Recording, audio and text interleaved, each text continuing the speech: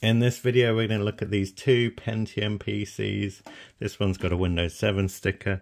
They both have Intel Pentium inside. And I don't know if they work, but um, let's find out. Hopefully this will be a quick video. Um, but whenever I say that, I end up spending a very long time um, trying to work out what's wrong with the system and all sorts of things go wrong and everything takes much longer. But on the back of this PC, we've got so little. we've got one VGA connector, four USB Ethernet and audio. So there's no uh, keyboard, mouse, PS2 connections. There's no DVI. Um, what else do you normally get on the back of a PC? Um, there's basically not a lot at all. Um, so that kind of keeps things simple, I guess. And we've got a power supply here. And let's have a look inside because, um, yeah, we need to make sure that we've got everything we need. Um, so inside, we've got no drive. Um, I think there's probably meant to be a hard drive caddy here that would be holding the drive.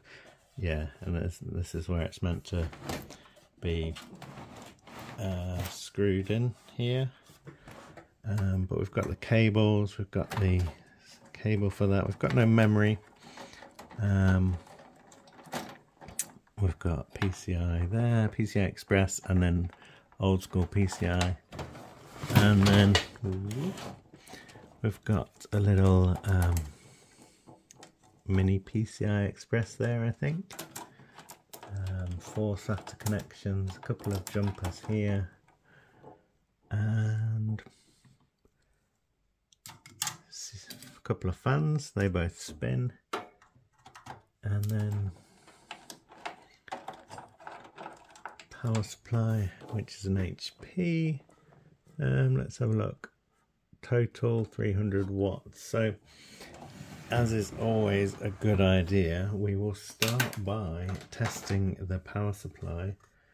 Um, just because if that goes bang, it might take stuff with it. Um, so, I'll just quickly test this um, with the power supply tester. Got a CPU connector here. And there's no switch on the back of the power supply, so when I plug this in, it should switch on straight away.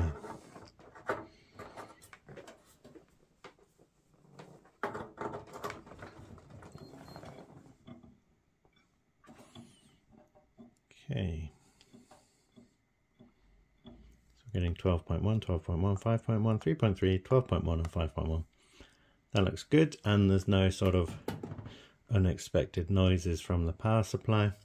So I would say we're good to give this a try. The motherboard is an H-IG41- Micro ATX revision 1.1. This is an HP board and um, I'll just look online to see what memory this takes. With a G41 I'd be expecting DDR2. So I've had a quick look. Uh, this is what's come up on Google and it looks like it's actually a DDR3 motherboard.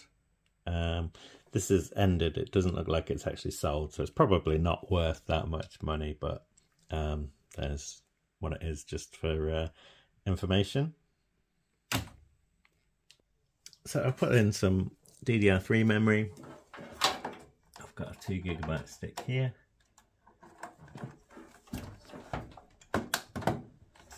Oops.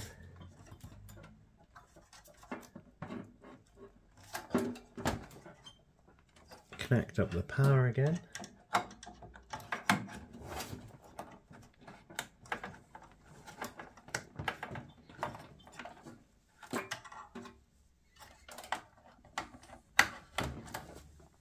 plug in a SATA drive that I've got.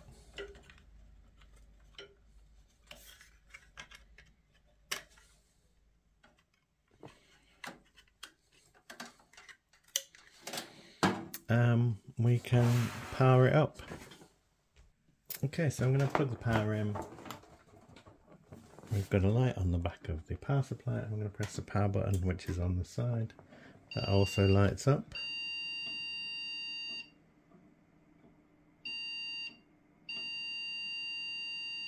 And we're getting beeps. So that's one short beep and one long beep. Okay, so this might be the memory. So I'll take it out and plug it back in and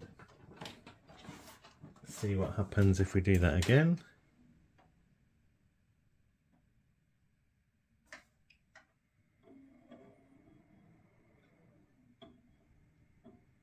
Okay, that time it's switched on. So we've got um, DVD RAM, 2 gigs of RAM, and where is the information about the processor in the system? Can anyone see it? Oh, here we go. Pentium dual core CPU E5500 at 2.8 gigahertz. Um, is that good? Is that bad? I'll just have to have a quick look online to see what kind of CPU that is. Okay, so um, CPU benchmark gives us a score of 1000. Um, this is dual core processor, 65 watts, socket LGA775, and it's from 2010. So, um, I guess this is one of those PCs that is kind of uh, borderline. Let's see if it boots into Windows 10 and see what that's like. But um, yeah, it's kind of borderline between being almost good enough for Windows 10 and for it to be usable and it being not good enough. I guess at this point I'm thinking really for Windows 10 you're better off with a quad core processor. Um, and maybe these could be upgraded or I don't know if this one's going to be the same but my guess is that it will be the same but it might not be but we'll find out. Um, but it works it's quiet um, it takes DDR3 memory um, which means it's easy to upgrade the memory to quite a decent amount um, even though there's only two slots um, let's have a quick look at Task Manager.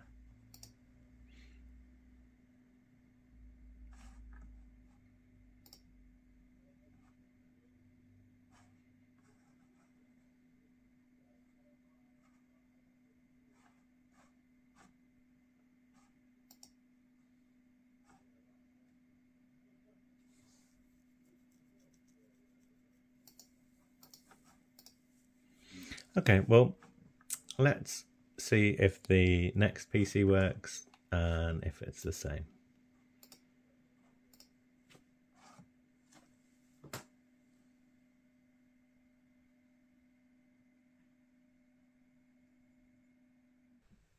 Okay, so I've taken the memory out of this one so we can use it in the next one. And let's have a look what we've got with this one. It's the same on the back. Looks like everything else is the same, same um, power supply. And inside we've got, maybe this is different actually. Looks slightly different. But again, it's a um, 300 watt power supply. This one's much dustier inside. Um, and it looks like the hard drive cage has been removed from this as well. So let's test the power supply like we did with the other one.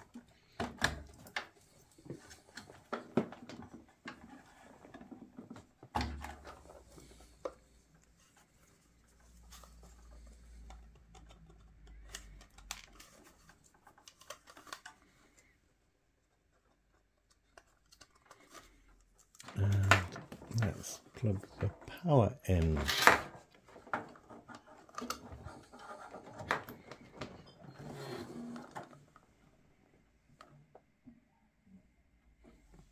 That's very quiet, but we're getting good um, levels here 12 volts, 5 and 3.3. And the fan is going in the back. It was so quiet, I thought I would just check that. So let's connect up um, this PC. It's got a stick of uh, memory in there already. So let's put this in. Why not give it some more? Um, so the stick I've added is two gigabytes. Have a look what we've got in there already. And we've got this, which is a two gigabyte stick of DDR3.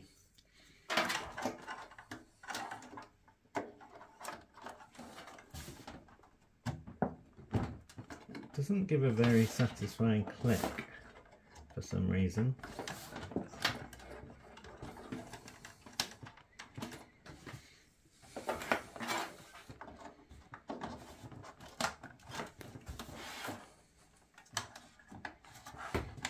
Okay, and we'll connect the same drive we used for the other system.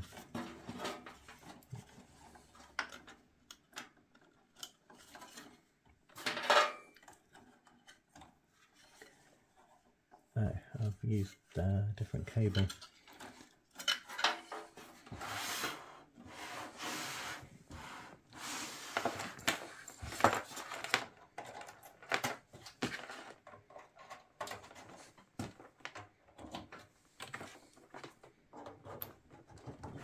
Got the lights. May as well turn on the speakers. And press the power button.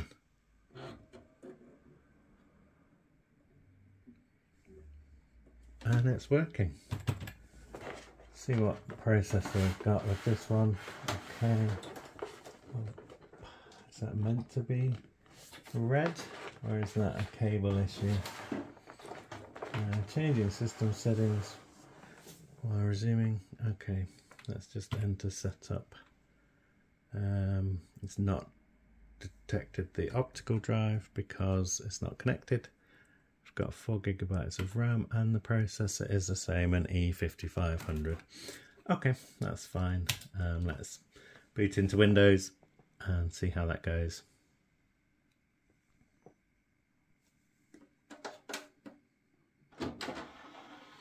There's no disk in the drive, the optical drive.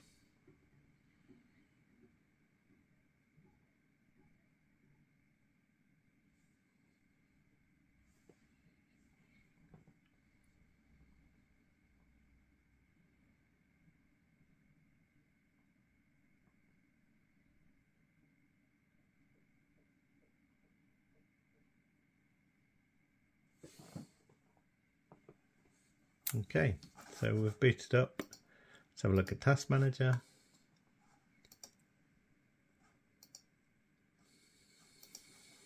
So looking fine. Um,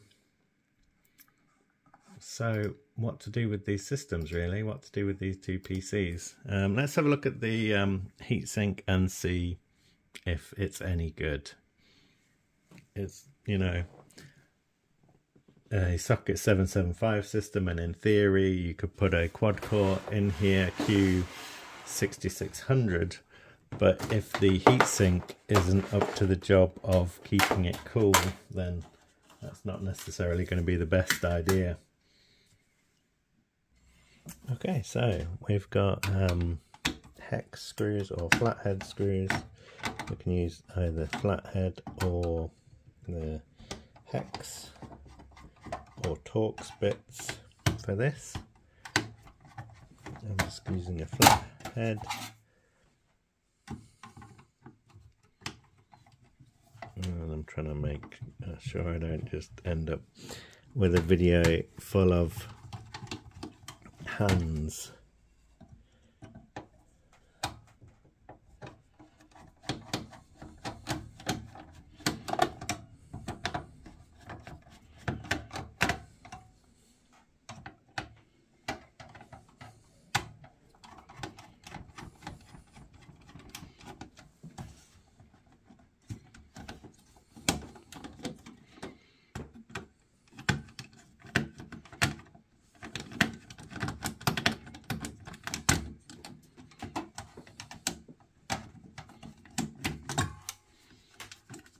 Okay.